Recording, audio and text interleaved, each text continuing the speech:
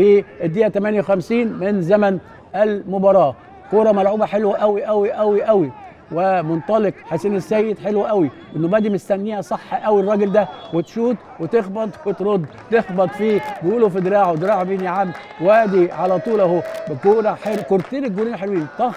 بص هتخبط.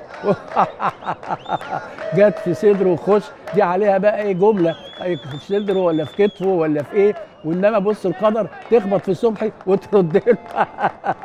ترد له إنما هدف هدف لعبد الظاهر عبد الظاهر وهدف هدف جميل لأحمد عبد الظاهر في الدقيقة 58 من زمن المباراة يعني في الدقيقة 13 من زمن